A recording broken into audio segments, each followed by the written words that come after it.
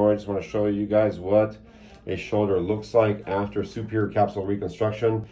Uh, pretty much three months out. Incisions, once again, superior capsule reconstruction. It's reserved for patients uh, who have massive rotator cuff tears and their tears cannot be fixed. So in that case, we, uh, we put a graft or I put a graft uh, to uh, improve the mechanics of the shoulder. So can you show me raising your arm up slowly?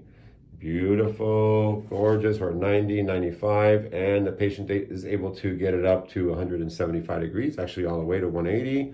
Very nice, you can, we can bring it down. Thank you, and then can you do this for me, A abduction? Yeah, 85 degrees with a little shrugging right there. So at this point, three months out, superior capsule reconstruction. This is what the we can put it down there. Thank you so much. That's what the incisions look like. Just by the way, if you don't know what a superior capsule reconstruction is, it's a very big surgery that's done for patients that have non-repairable rotator cuff tears. Thank you so much for allowing me to show this. Mm -hmm.